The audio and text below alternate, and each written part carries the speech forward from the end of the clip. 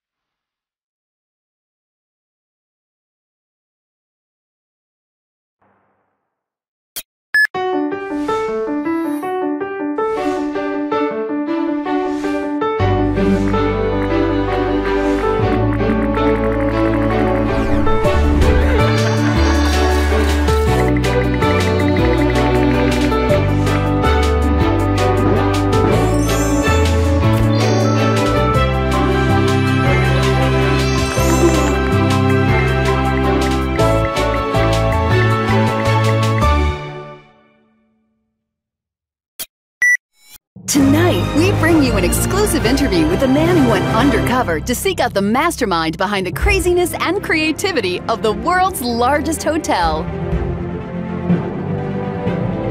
Personality packed parties, crazy contraptions, spectacular snowball fights, and thousands of imaginations running wild. These are just a few of the reports from people who have ventured inside Habbo Hotel. Here now is a man who has seen it all firsthand. Tell us, how did you find your way inside? It was so easy. There are all sorts of ways to get there. Millions of people check in every day.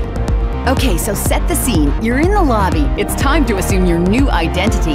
At that moment, what's going through your mind?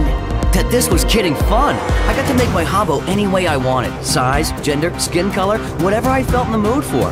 Finally, I get to try out that green mohawk I always wanted. Now, once you entered, tell us what you encountered next. It's just like any real hotel. You get a room when you check in.